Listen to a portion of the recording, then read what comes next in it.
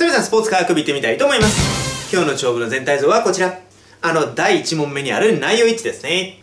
で、段落は8個で選択肢は12個。まあ、大変といえば大変なんですが、落ち着いて解けば大丈夫ですからね。本文や選択肢そのものが特に難しいというわけではないですので、やってみたいと思います。そして、リクエスト多いのもこれでございます。ということで一緒に頑張りましょう。サミさん、まず第一段落でございます。で、選択肢は12個ありますからね。でもさ、早稲田の過去問は他の大学と比べてちょっと文字が小さいんですね。で、その点はちょっとご了承いただけると幸いです。では皆さん、第一段落の検討からお願いします。さあ皆さん、一番先頭でございますが、運動の恩恵。で、そういうものが広く知られております。そうです。昔から知られている恩恵がこの三角括弧のとこですね。一つ目、長生きしたり、そしてリスクを軽減させることができるんですよね。で、そういう恩恵は昔からあるんですね。で、皆さんそこに新しい研究結果が発表されております。で、皆さん段落一番最後になりますが、皆さんメンタルヘルスにも恩恵があるんですね。つまり心にもプラス。ですから皆さんこの第一段落は昔から分かっていることと新たに分かったこと。それが集約された選択肢が見つかってますよね。そうです。もう一番最初の選択肢の A ですね。皆さん後半ですが、皆さん well-known benefits。よく知られている恩恵。三角括弧でくくりましたので分かっていただけるかと思いますが、これが皆さんこの最初の方に合致しますね。そして選択肢の A の前半でございますが、newly discovered benefit。そうです。新しく発見された恩恵と書いておりますので、それが皆さんこのメンタルヘルスのことですね。ですから第一段落につながるのは選択肢の A ということでよろしいかと思います。さあ続いて第二段落でございます。選択肢こちらの中から検討をお願いします。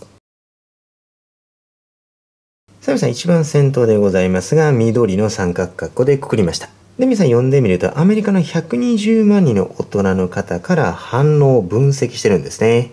そして次の文章では皆さん according to the study そうです。研究結果が示されてますよね。で皆さん poor mental health まあ、精神状態があまりよろしくない日が何日あるのか。で皆さんそれは大体3.4日あるんですね。で、一方皆さ運動している方は大体1.5日。で、そういう結果が現れたんですね。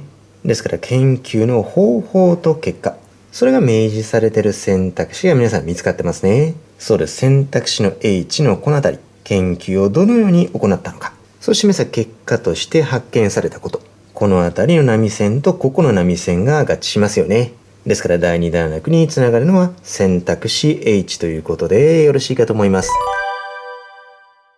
さあ続いて第3段落でございます。選択肢の検討をお願いします。さあ皆さん、あるドクターの意見が書かれてますよね。ただ皆さん、そのドクターは次の文章でわかるかと思いますが、研究に参加してないんですね。つまり関係者じゃないんですね。で、そういうことを言ってる選択肢が皆さん見つかりましたね。そうです。選択肢の L のこの後半部分ですね。研究に参加しなかった。で、その専門家の意見としっかり書いておりますので、第3段落につながるのは選択肢の L ということでよろしいかと思います。さあ、続いて第4段落でございます。選択肢の中から検討をお願いします。さあ、皆さん、先頭で皆さん、アダムさんという人が来てますよね。で、皆さん、author ということですから、著者。で、その方の意見として、この辺りですね。皆さん、めちゃめちゃ重要と書いてますね。ですから、皆さんが選んだ選択肢の中に、重要という話があったかと思います。で、重要だと判断した理由もしっかり記載されております。ですので、選択肢の F。ここと合致しますよね。significance of the study ということですから、研究の重要性。で、皆さん、原因理由の話も文末にしっかり書かれております。ですから、第4段落につながるのは選択肢の F ということでよろしいかと思います。さあ、続いて第5段落でございます。選択肢の検討をお願いします。さあ、皆さん、これ一番先頭ですよね。運動のスイートスポット。もちろんスイートスポット知らない方でもある程度イメージはできるかと思いますが、直訳すると運動の甘い点ですね。甘い場所が45分としっかり書いております。で、スイートスポット知ってる方ですね。そうです。テニスのラケットの中で一番よく飛ぶところ。ラケットのこの部分にボールが当たると一番よく飛びますよ。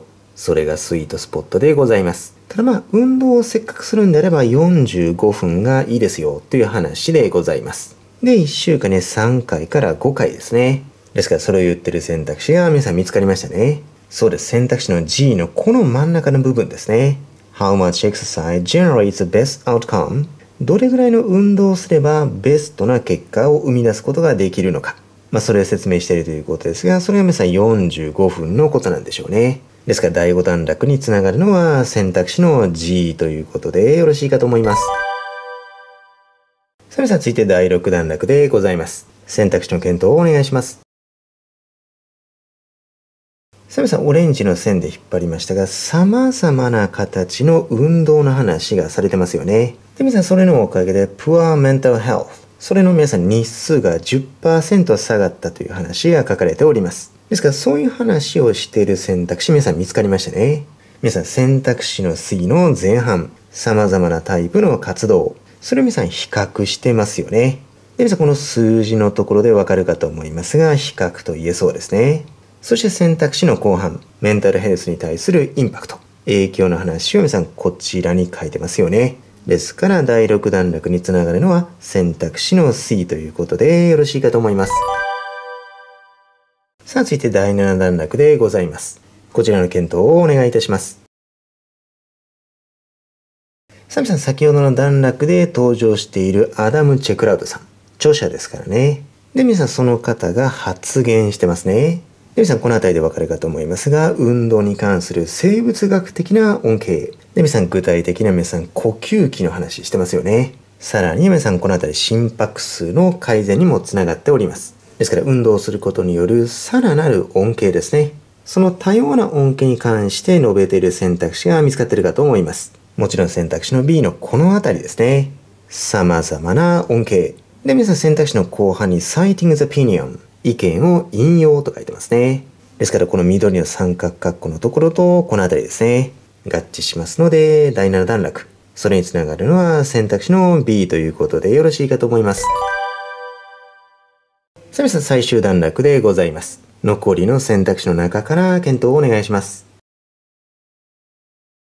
さあ皆さん文頭でございますが様々な要因の話をしてますね。で、皆さん読んでいただいてわかるかと思いますが、まあ、とにかく多種多様な話がしっかり書かれております。ですから皆さん選択肢の E のこの辺りと一致しますよね。皆さん多様とか多彩な話がしっかり書かれておりますので、第8段落につながるのは選択肢の E ということでよろしいかと思います。